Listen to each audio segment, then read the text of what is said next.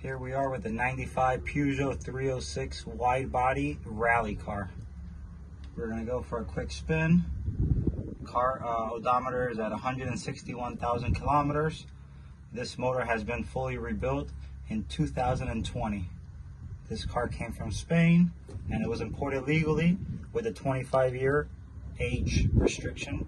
It's Florida legal titled.